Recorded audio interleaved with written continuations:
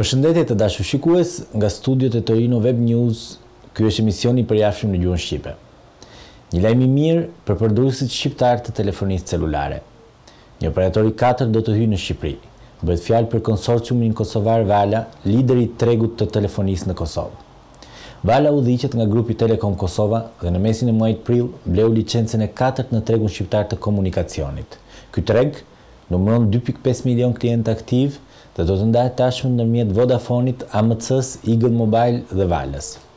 Hyrja e mëparshme në këtë treg i operatorit të tretë telefonik Eagle Mobile dhe rritja e konkurrencës ndikoi ndjeshëm në uljen e tarifave të telefonisë deri tani ndër më të lartat në Evropë. Të mërkurën, më njëzet e tetë prill, në orën dhjetë e gjysmë, në ambientet e Sala Rosa të Bashkisë së Torinos, në via Palazzo di Città, do të zhvillohet Dita e pestë Botërore e Viktimave të Amiantit. Komisionet e Punës dhe Ambientit të Komunës, Provincës dhe të Rajonit të Piemontes do të presin përfaqësuesit e shoqatave të viktimave italiane dhe franceze, si dhe përfaqësuesit e INAIL Piemontes dhe të Spresal Asl Torino Uno. Ndërsa në mbrëmje, në orën njëzet e tridhjetë, në në Teatrin e Bashkisë në Casale Monferrato, projektimi i dokumentarit Një qytet që rritet, dokumentari Doda Film me aktore protagoniste Ottavia Piccolo dhe me titra në frëngjisht. Më pas, Massimiliano Quirico do të komentojë filmin dhe do të prezantojë numrin e parë të gazetës Siguri dhe Punë të drejtuar nga vetë ai. Vazhdojnë përshëndetjet e Romana Blasotti Pavesi, presidente e Shoqatës Familjarë të Viktimave të Amiantos, të presidentit Andeva Alain Guerif të Shoqatës Kombëtare të Viktimave Franceze të Amiantit dhe sekretares rajonale të sindikatës Unia Ticino, Zvicër, Saverio Lurati. Në orën njëzet e një e dhjetë, regjizori Michele Citoni paraqet projektin E pashkatërrueshme, dokumentar mbi historinë e luftës ndaj amiantit të Eternit Casale, ndërsa në orën njëzet e dy, një tryezë e rrumbullakët me përfaqësuesit e shoqatave dhe organizatave të sindikatave italiane, franceze dhe zvicerane mbi iniciativat e bashkëpunimeve ndërkombëtare. Moderon Silvana Mossano, gazetare.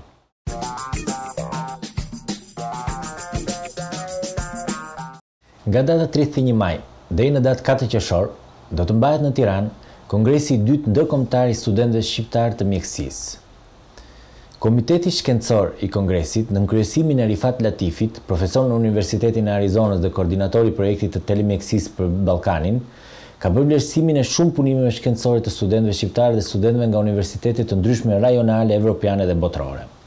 Gjatë punimeve të kongresit, do të prezantohen mbi njëqind e tridhjetë tema nga fusha të ndryshme të shkencave mjekësore të studentëve nga Shqipëria, Kosova, Maqedonia, SHBA-ja, Austria, Spanja, Sri Lanka, Polonia, Italia, Greqia, Gjeorgjia, Izraeli, Bosnja, Turqia, Ukraina e tjerë. Kongresi i parë botëror i studentëve të mjekësisë u mbajt në Prishtinë në muajin qershor të vitit dy mijë e tetë dhe pati mbështetjen e fuqishme të institucioneve kosovare dhe të organizatave USAID dhe Organizatës Botërore të Shëndetësisë. Suksesi i tij dhe rezultatet që solli, bëri që të mendohej nga organizatorët edhe kongresi i dytë, duke e kthyer kështu në një organizëm funksionues këtë pikë të re referimi në shkencat mjekësore universitare shqiptare. Rritet niveli i nismave kulturore dhe kontaktet në komunitetin shqiptar në zonën e Albës. Kjo, falë punës organizuese të shoqatës së re Zëri i Arbërit. Kjo shoqatë, organizon një mbrëmje muzikore ditën e shtunë në datën njëzet e katër prill në orën nëntëmbëdhjetë në Restorant Rinomata, Piazza Pertinace në Alba në provincën e Kuneos. Gjatë mbrëmjes, do të bëhet edhe prezantimi i librit L'addio degli angeli, i shkrimtarit Bledi Bardhaj nga qyteti i Fierit, i cili jeton prej më shumë se dhjetë vitesh në Itali në këtë zonë. Libri, i cili tashmë ka parë dritën e botimit vetëm disa ditë më parë në Alba, është pritur mjaft mirë nga publiku vendas për origjinalitetin e narracionit dhe personazheve.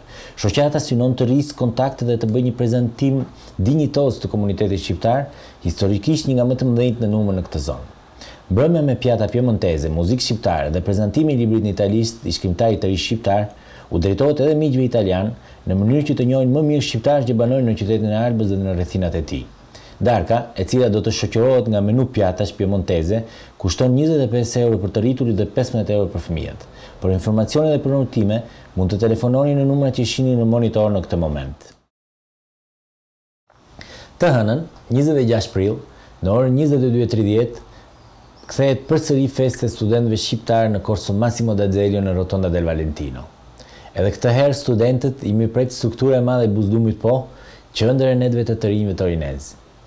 Tinguj shqip dhe mezetar, të zgjedhur nga DJ Rinis, ambienti i këndshëm, çmimi shumë i lirë i hyrjes, gjashtë euro bashkë me një drink të përfshirë, Bëjnë që studentët e këtushëm të shkëputen qoftë edhe për një natë nga librat dhe të gjehen të gjithë bashkë. Buzë Po-s në klubin e njohur torinez. Këtë radhë, përveç DJ-it dhe stafit të zakonshëm organizues, në fletëpalosin e festës spikasin dy emra vokalistësh Albi dhe Xhesi. Me sa duket, ka gjethe të reja në këtë takim të pritur mjaft mirë nga populli i sallave të studimit. Këto ishin edhe lajmet që kishim përgatitur sot për ju. Për më tepër informacion mund të na ndiqni në faqen tonë në internet në adresën që shihni në këtë moment në monitorin tuaj. Duke ju falënduar për vëmendjen, ju urojmë një fundjavë të bukur.